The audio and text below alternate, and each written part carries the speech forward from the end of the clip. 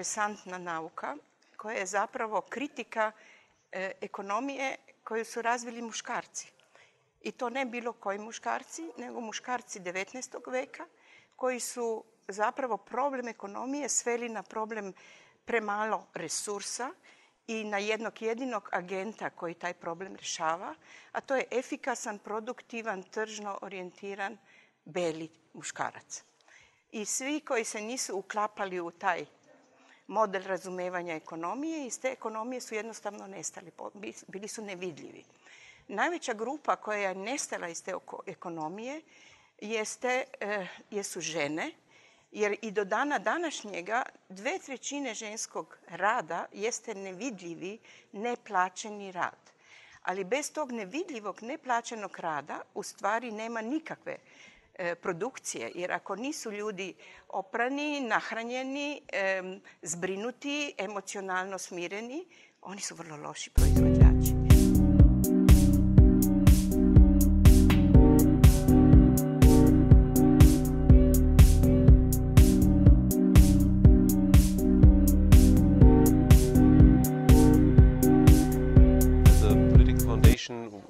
Friedrich Ebert Stiftung is working on the basis of the values of social democracy. And from a social democratic point of view, I think the issue of feminist economics combines two aspects which are very important from, for us. And this is on the one hand the focus on socio-economic policies and political issues, and on the other hand it's um, the issue of gender equality, of feminism, and the role that these aspects play in modern societies.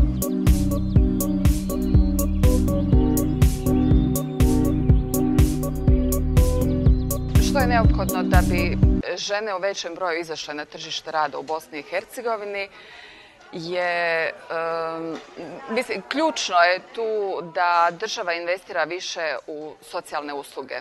Pod socijalnim uslugama mislim prvenstveno na, na, na usluge za obitelji s djecom, to su vrtići, jaslice, ali isto tako i domovi za starije osobe, jer većina žena danas nosi teret tih obaveza na sebi, znači u svom domaćinstvu i nije u mogućnosti znači izaći na tržište rada, nije u mogućnosti naći plaćeni, tražiti i naći plaćeni posao iz razloga što znači mora voditi skrb o djeci, o nemoćnim starijim članovima obitelji i sl.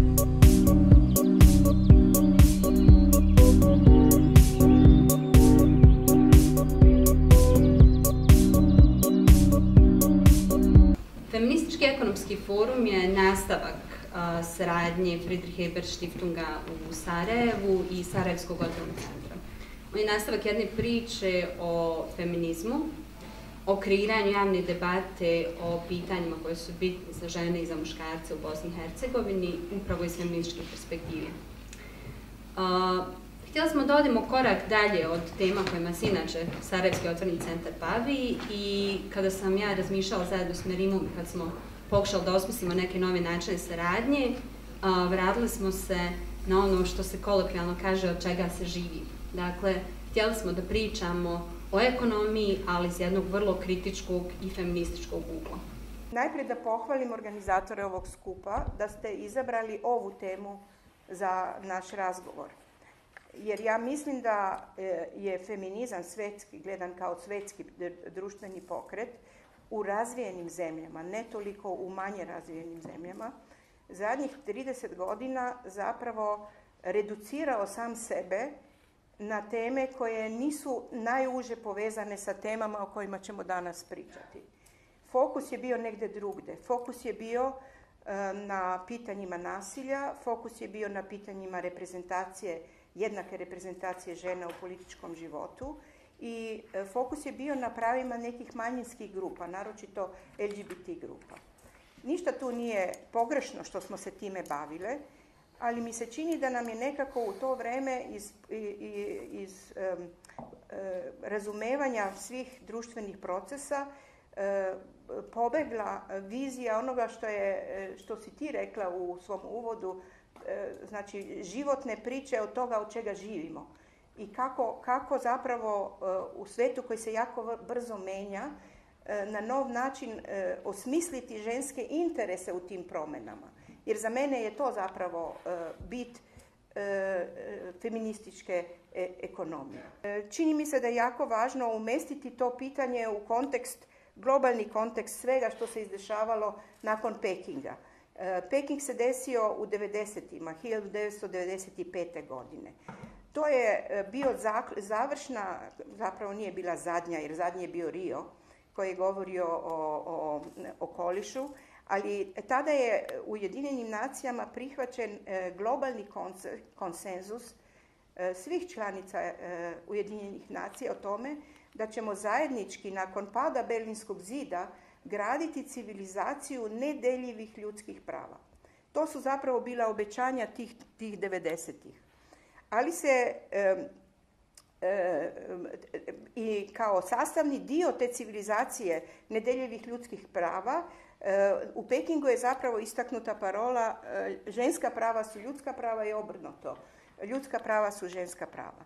Zamislite, nakon 200 godina, nakon Francuske revolucije, to je tek tada postala parola koja je zapravo predstavila u pravom svetlu o čemu se radi. Ono što je značajno i što je uspjelo, da je u papire te konferencije po prvi puta e, ušla obaveza vlada da zapravo kao ključni metod mainstreaminga, znači uključivanja vidika spola u sve politike, uvede gender budgeting, znači e, budžetiranje koje će voditi računa o tome da oba dva pola jednako participiraju u progresu e, e, svakog društva. To je bila velika novina i na taj način je zapravo kulminirao rad ženske feminističke ekonomije koji se koji je postao zanimljiv i, i važan za razvoj ženskog pokreta, naročito posle 70. godina. E, znači, za, za feminističku ekonomiju je jako važno uključiti e, e, razumevanje kako u sve vrste produkcije, reprodukcije, distribucije zapravo ulaze odnosi među muškarcima i ženama. I sad imamo, naravno, feministička ekonomija nije jedinstvena. Ona ima barem tri velika pravca. Liberalna, konstruktivistička i, i kritička feministička ekonomija. E, e, ono što je meni zanimljivo su četiri teme ili četiri aktuelne debate u, u koje se upravo sada odvijaju u, u tom polju feminističke ekonomije. Prva je debata o trošenju vremena. E, naime, e, ako hoćete stvarno vidjeti na koji način e, jedno društvo diše, onda morate znati na šta se troši vreme u tom društvu i ko troši kakvo vreme u tom društvu. Sve studije vremena pokazuju da je da još uvek muškarci i žene popriličan deo svoga vremena troše na neplaćeni rad. To je na, na takozvani reproduktivni rad, koji je ono najosnovnije da, da imaš čist klozet, da, da, da se zbrineš djecu, da se pobrineš za starije e, u svojoj familiji ili za one koji su bolesni treba im pomoć. E, e, recimo u Njemačkoj, koja je jedna od najrazvijenijih kapitalističkih zemlja sveta, i dan danas dve trećine svega rada koga žene ulažu, one troše na neplaćeni rad. E, i jednu polovinu svega rada koje ulože muškarci, oni troše na neplaćeni rad. Ali vidite da je tu nesrazmjerno. I, I, ono što je interesantno i što bi morali mi da uzimamo kao svoju prednost je da smo zapravo u socijalizmu razvili sve elemente za to da se taj neplaćeni rad izravna između muškaraca i, i žena. E, najveća, najveća je dilema zapravo da li, treba taj rad ostaviti u sferi privatnosti i samo ga bolje podeliti između muškaraca i žena i zapravo uključiti i priznati kao sastavni dio e, e, tog rada koga ti radiš kao e, zaposlen na nekom svom takozvanom produktivnom ili plaćenom radnom mjestu ili pak treba to marketizirati znači izvući ga iz te domaće, domaćeg okruženja i napraviti ga kao javni e, ili još gore, ne javni, privatni servis e, koji će se plaćati i tako dalje. Znači, to je ta jedna tema. Druga tema koja je jako bila i aktuelna nakon 2008. to su posljedice mera štednje u kriznim vremenima koje su pogodile žene. Te, ta ženska feministička ekonomija je vrlo, vrlo glasno i jasno dokazala da su mere štednje u mnogo većoj meri pogodile žene nego što su pogodile muškarce i da je to zapravo e, posljedica toga što žene u političkom odlučivanju na ključnim mjestima nemaju dovoljno moći da su, da su mogli to da spreče. I e, zadnja tema koja je jako aktuelna i za nas, to je takozvani globalni lanac brige. E, ja ne znam da li sam to dobro prevela na, na, na, na vaš jezik, izvinjavam se, mučim ga i ne znam dobro, ali mislim da mi je ipak bolje da, da vam tako pričam nego na engleskom. E, taj globalni lanac brige zapravo napravio je ogromni e, preokret u načinu života razvijenih zemalja.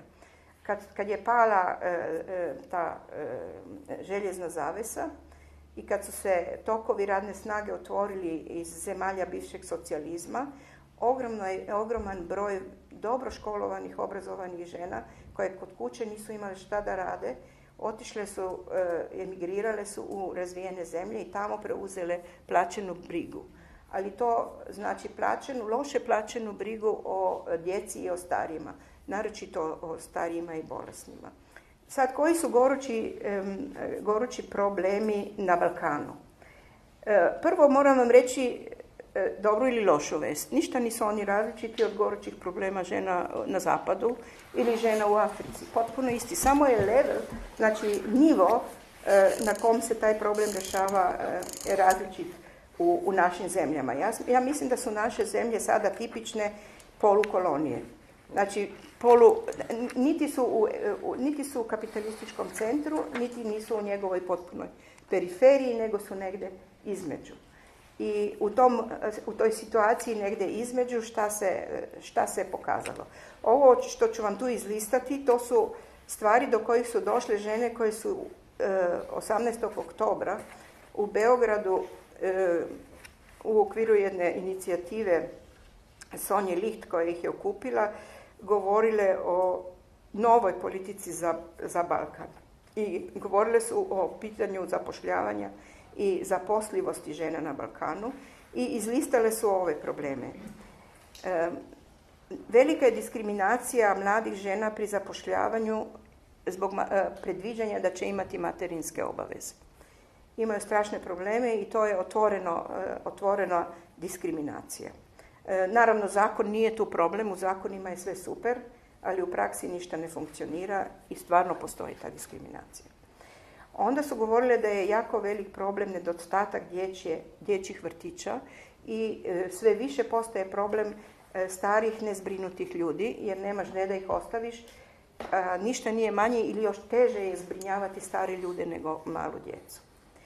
E, zanimljivo je da, da su govorile i o tome da postoje dve vrste stereotipa za šta žene nisu sposobne. Eh, jedan je stereotip da žene nisu sposobne za najviše dužnosti tamo gdje ima najviše para. Nisu sposobne da budu u vanjskoj politici, nisu sposobne da budu u vrhu IT ekonomije, nisu sposobne da vode banke. Znači tamo gdje ima para, za to žene nisu sposobne, iako su obrazovane. To je jedan dio. A drugi, to je vrlo zanimljivo, da one nisu sposobne da same uzdržavaju porodicu.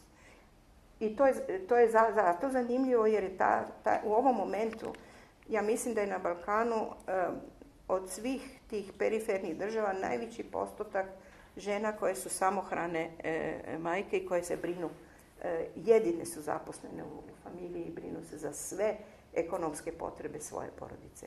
Ali ih još uvijek bije stereotip da one za to nisu sposobne.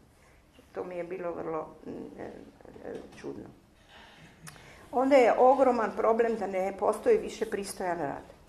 Znači, e, radno vreme se ne poštuje, vreme za odmor se ne poštuje, e, ima jako puno rada izvan onih osam sati koji se ne plaća. Odrađuje se, ali se ne plaća. Velike su, visoke su norme ako se radi u industriji i ono što nekada nije bilo, sada se ako ne dostigneš normu plaćaju penali. to, se, to, to kad to čitaš i razmišljaš o tome, to, to su zapravo prizori iz vremena e, e, položaj radničke klase u Engleskoj kada je Engels to opisivao. Mislim, kao da, kao da 200 godina ništa nismo uradili, nego se vraćamo na, na početak. Novi problem na Balkanu je da je brain drain, znači taj odliv mozgova iz naših zemalja, sada već vidljiv e, u našim javnim službama i da se osjeća kao pomankanje kvalificiranih kadrova u zdravstvu i, u školstvu i da, je to, da, da to postaje veliki i u socijalnim službama i da to postaje e, veliki problem. I zadnje, postoji velika otuđenost od sindikata i e, loša povezanost sa međunarodnim organizacijama koje se bave pitanjima e, ekonomske e, ravnopravnosti. Ja ću, ja ću sada govoriti prvenstveno znači, o socijalnoj politici i ulozi socijalne zaštite u Bosni i Hercegovini. Ali vi ste već iznijeli većinu ovaj, znači, tih problema koji, koji mi imamo također u Bosni i Hercegovini. Ali rekla bih ono što je ključna razlika između Slovenije danas i Bosne i Hercegovine, bez obzira na to zajedničko znači, nasljeđe, zajedničko socijalističko nasljeđe, ovaj, e, mislim da je važno reći da su ti korijeni tih razlika e, u stvari još uvijek u socijalizmu. Znači, e, kad pogledamo znači, položaj Slovenije tada u bivšoj državi, Slovenija je bila neto uvoznik radne snage. Yes. Za razliku od Bosne i Hercegovine koja je znači, bila stalno izvoznik radne snage. Znači, izvoznik radne snage a, da li u bivše susjedne republike, znači socijalističke republike ili u Saveznu, tada Saveznu republiku Njemačku ili dalje.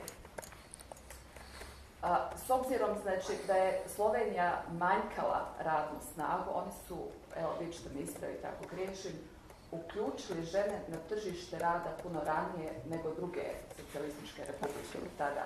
A da bi uključili žene na tržište rada morali su osigurati socijalne usluge. I to prvenstveno, znači socijalne usluge, prvenstveno mislim na vrtiće, jaslice, domove za starije. Znači, kako bi oslobodili ženu od tog, znači, od te brige u kući, ovaj, da bi oslobodili, da bi, da bi mogla izaći na tržište rada. Ja bih još nešto o, rekla općenito o tome kako taj sistem socijalne zaštite danas utječe na položaj žene. mi smo imali, znači, ono što nam se desilo u tom ratnom i postratnom razdoblju je naravno ta ekonomska tranzicija, privatizacija,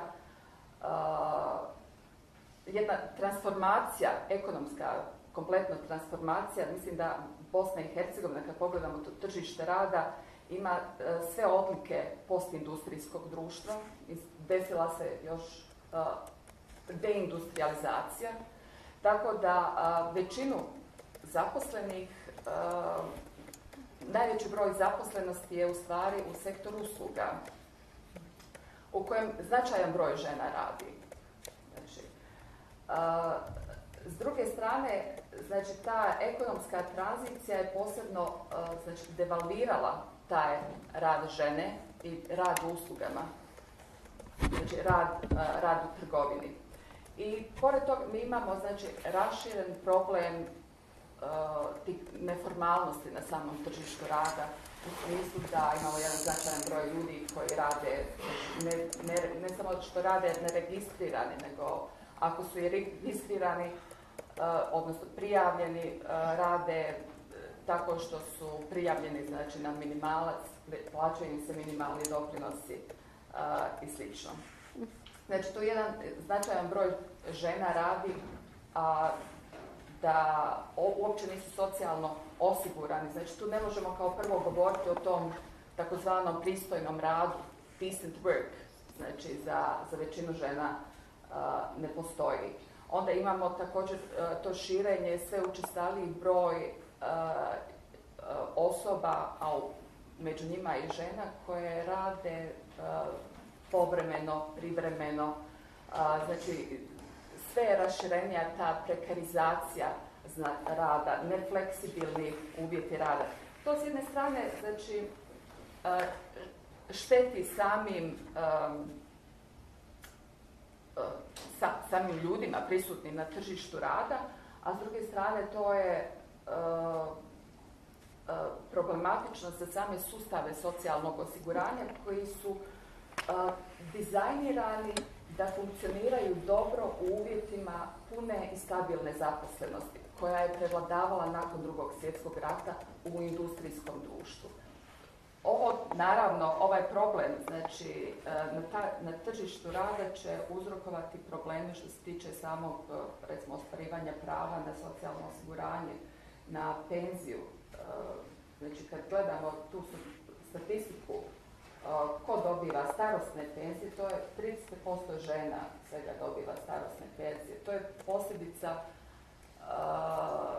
znači činjenice da su kad gledamo znači ukupnu zaposlenost ranije na, na svega je 30% u prosjeku, znači bilo 30% zaposlenih žena kad gledamo ukupnu ukupnu zaposlenost. Imamo drugi problem što je jedan značajan broj, 60% žena je ekonomski neaktivno. Znači uopće nisu uključeni u tržište rada, ne računaju se kao, kao aktivni, nisu prisutni na tržištu rada u smislu da rade, niti traže posao.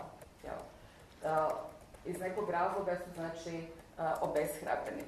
Jedan od osnovnih problema su nerazvijene socijalne usluge nedovoljan broj vrtića, znači i država općenito nedovoljno ulaže u socijalne usluge. Znači, i tu nisu, naravno, tu su važni vrtići, ali nisu vrtići jedini, jedine ovaj, institucije koje su bitne. Tu je, bitne su pitanja recimo dugotrajne njege koja je, ovaj, koju recimo Slovenija sada rješava, to je pitanje recimo kompletno zapušteno kod nas.